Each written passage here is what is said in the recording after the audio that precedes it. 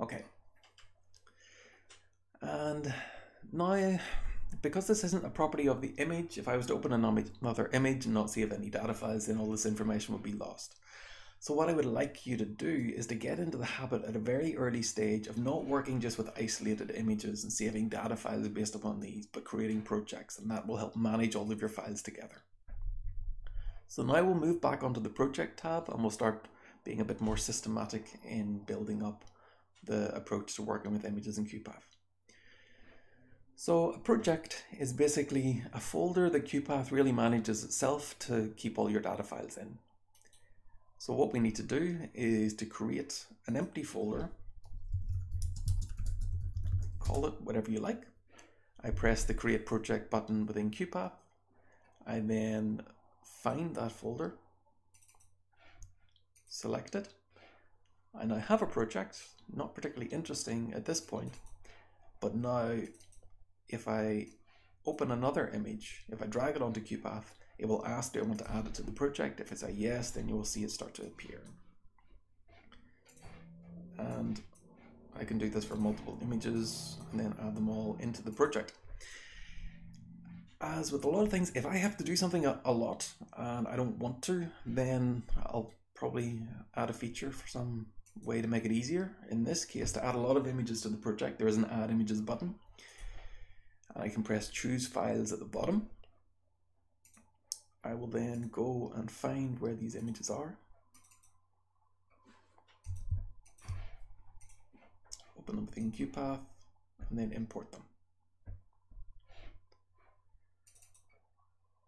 So that's an easier way to add multiple images at one time. And now as I can open them much more easily just by selecting them through double clicking in this project tab. And if I leave my mouse on top of an image, I get to see a larger preview thumbnail and a little bit more information about it. And in a second, we're going to look at these annotation tools, but I'll just immediately draw a rectangle now and show one of the benefits of having a project is if I now, having done something to the image, want to open another image, it will ask if I want to save the changes. If I say yes, then the next time I open the image, the annotation that I drew is immediately going to be displayed to me.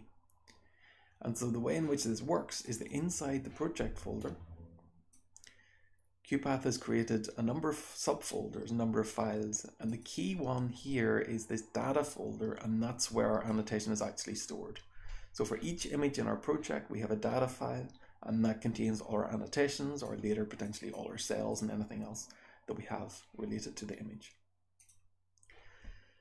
And so the, what this means is if you want to back up your project or if you want to back up your data, you really just need to copy this folder or you can copy the entire project folder. And the way in which I would often back up a project is I just right click on it and I would choose send to compressed zipped folder. And then this would create a backup of everything inside. And then I know that if I mess up my project in some way, I can unzip the zip file that I've got and then I can get back the files that I need. So the other important file in here, so thumbnails really just is these preview images, scripts won't have anything in it at this point, but the other key part of this project is this project file, which I can open with a text editor. So I have Atom installed here. And this shows you that the project itself is not particularly complex. So within this file, we just have a path to where the images are that I added and name of the image. The name of the image is initially derived from this path. You could modify it potentially if you wanted to, and it corresponds to the name of the data file as well. And so there's a couple of things, a couple of reasons why this is important. Firstly, you might wonder what happens if you add two images with the same name, and I would say nothing, nothing good happens at the moment.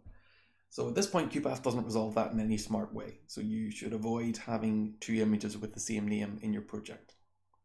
In the future, there might be steps to address it, but at the minute, the image name should be unique. Secondly, you can see that there's the path to the original image, and that means that if I was to move this, this folder, um, or delete these images, then I would no longer be able to open them within QuPath. So the project itself doesn't contain the image data. The images remain where they were whenever I added them. You can actually see that by, if I hover over this, you can see that the folder containing the images is almost 5 gigabytes in size, whereas the project folder is just a few hundred kilobytes, and so it's much smaller. QuPath doesn't copy the images, it just has that link to them or the path to them, which is stored within this project file. Therefore, if I was to move the images somewhere else, the links would no longer work and the project would appear to be broken.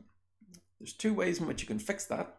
The first is that you can open this in a text editor and you can modify the paths so that they point to where the images now are. The other thing that you can do is you can create an entirely new project with all the images added from their current location. And as long as the image names remain the same, you can just copy the data folder from your old project into the new project, and then all the data will be transferred over.